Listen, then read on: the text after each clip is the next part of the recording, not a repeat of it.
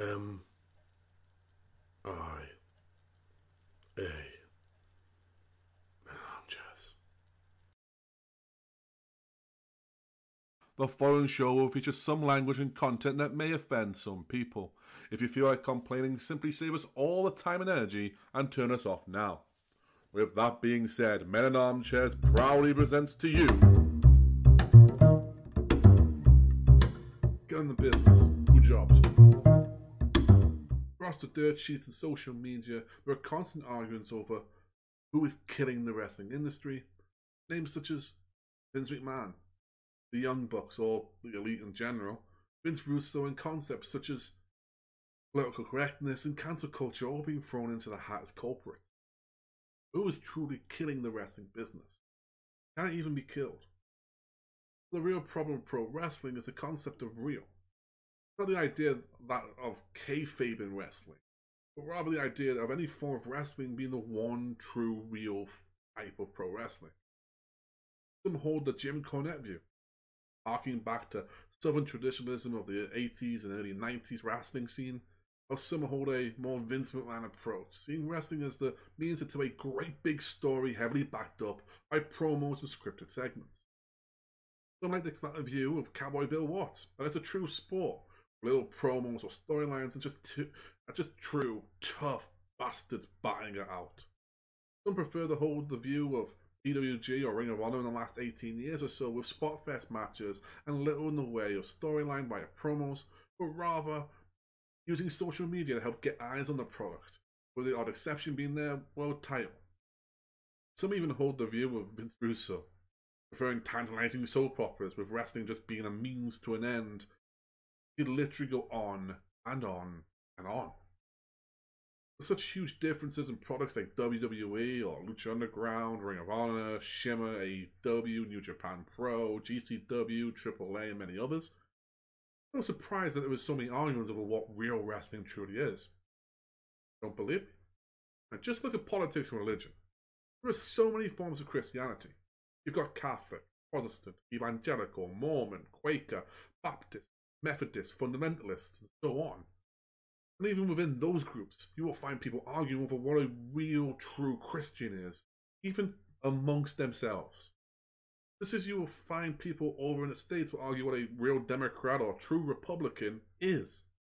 You'll find this kind of thinking everywhere in society and in entertainment. So is there really such a thing as real pro wrestling? Or is it just another elitist argument you find on forums?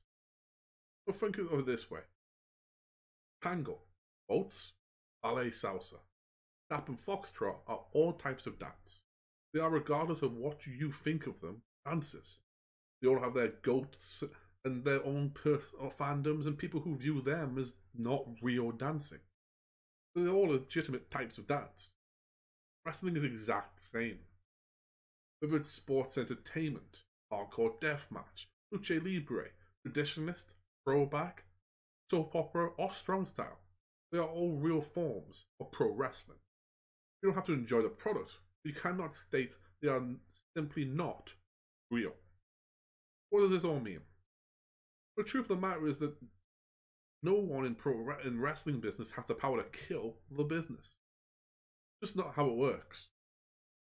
Someone like Vince McMahon can try to buy out companies and contracts and throw his money around and has done and most likely will continue to do so in the future.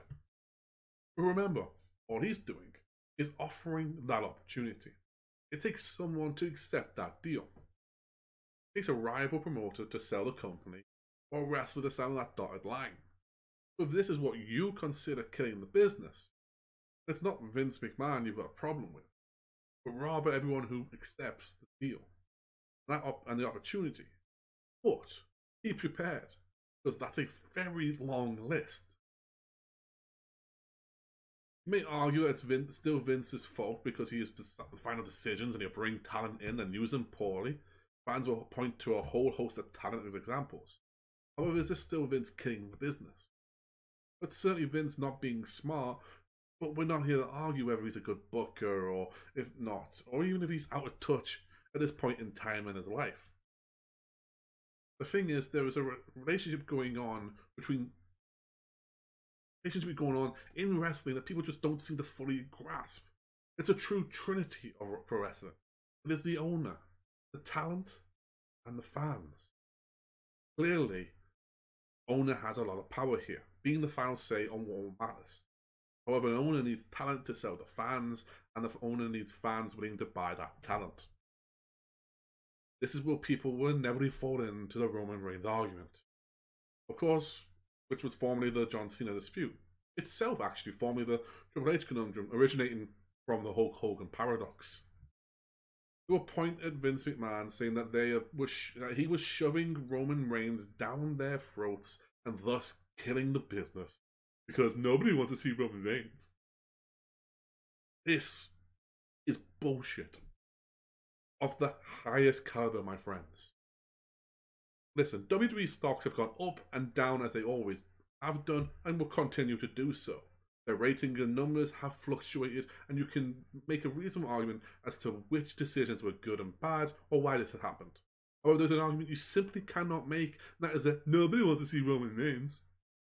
The truth is, people did and still do. Certainly, not everyone is a fan of Roman Reigns, but a lot of people are. A lot of people paid a lot of money, millions of dollars, collectively in ticket sales, network subscriptions, and merchandise to support the big dog. A man that was loudly booed out of buildings whilst being billed as the top babyface. Just look at the night after he beat The Undertaker at WrestleMania. This is the problem with saying no one wants to see something, because it assumes that every fan thinks the same way, but that cannot and simply is not true. Some fans get amped up to hear there's going to be a 30 minute ultimate submission match between two technically skilled wrestlers, whilst others consider that too long and boring and lacking any excitement at all. Some fans love the intensity of a street fight, with weapons representing the measure of a fighter's will and tenacity, while some hide away from the screen, unable to watch as a steel chair bends around the head of some poor bastard. Some fans would tell you the best thing that happened on the show was the comedy segment that had no wrestling at all and was made, but made them laugh while building story and characters. While others would call it stupid and pointless dumb. To the point they question why they even watch anymore. Wrestling is varied, and there is something for everyone. You cannot kill pro wrestling. Given that there is something for everyone, you cannot, simply will not, kill the pro wrestling business, or at least it's incredibly unlikely it will ever go away. As long as that fabulous Freebirds relationship, gang of owner, talent, and audience exists, pro wrestling will never die. If one owner isn't selling what you like, you can bet there will be another owner willing to do so. The problem, however, is that some fans don't support the alternative owners and talent. Sometimes promotions start up and they try to offer an alternative, but if they don't have the fans to buy in, it just doesn't sell. AEW would never have succeeded without the three point relationship. They had an owner in Tony Khan with Cody Rhodes, willing to sell amazing talent like Jungle Boy, MJF, and an audience willing to buy in. The same goes with TNA, Lucha Underground, New Japan Pro Wrestling, AAA, literally any company that's ever existed, whether they are still operating or have shut up shop. Even if a fan base completely gives up on an owner or talent, there will always be another owner or talent waiting in the darkness, brooding around the gargoyle like the Dark Knight himself, waiting, waiting to do business with you, the audience. With all this being said, can we say that anyone is killing the business? Or companies can seriously do, seriously do harm to their product? Talent can harm their relationship and to the point where some will destroy them with the fans. And fans can decide not to support a promotion, promoters, or talent. However, there will always be an owner willing to sell, talent willing to do business, and an audience willing to buy in. So was it Vince McMahon in Titan Towers with the PG era? Or was it James E. Cornette in Louisville with the anti-PC rants? Or was it the elite? The, the elite in Jacksonville, Florida with Spotfest that did the deed? The truth is, no one is responsible for killing pro wrestling because, like Hulkamania, this business will live forever. I am the Kaijbrew, and that was remarkable. Thanks for watching, guys.